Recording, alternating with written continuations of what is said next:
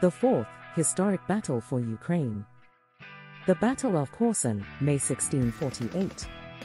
After the victory at Solovki Vary, Khmelnytsky's army marched to Korsun, where the units of the Polish crown hetmans Potocki and Kalinowski were stationed.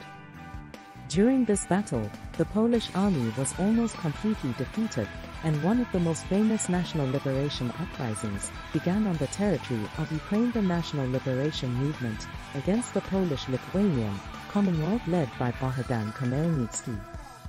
Thanks for watching and don't forget to subscribe.